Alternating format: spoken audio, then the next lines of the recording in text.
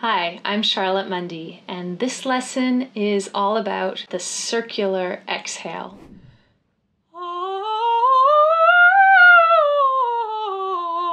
I'm going to show you two versions of the circular exhale. The first is really like a panting dog, and this exercise helps us sort of wake up the tiny little movements in, in the muscles around our rib cage. Ah,